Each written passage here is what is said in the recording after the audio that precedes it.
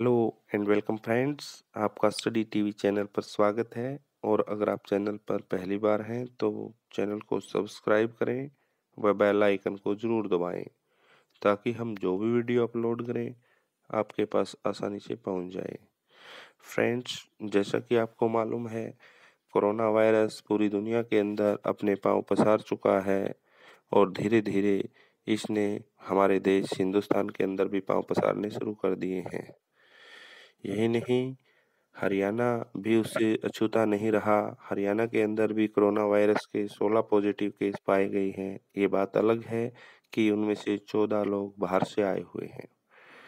Friends, एहतियात बरतते हुए हरियाणा सरकार ने आज आधी रात को बहुत बड़ी घोषणा की है कि पहली से बारहवीं तक की परीक्षाएँ टाल दी गई हैं।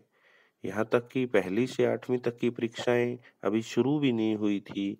लेकिन कोरोना वायरस के डर से हरियाणा सरकार ने इन परीक्षाओं को टाल दिया है।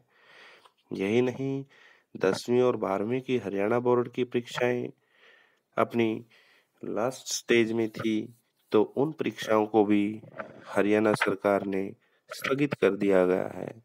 और दसवीं और बारहवीं की परीक्षाओं के लिए आगामी डेट जल्दी ही घोषित कर दी जाएगी। फ्रेंड्स यदि स्टडी टीवी चैनल द्वारा दी गई जानकारी से आप लाभान्वित हुए हैं तो स्टडी टीवी चैनल को ज़रूर सब्सक्राइब करें। धन्यवाद। जय हिंद।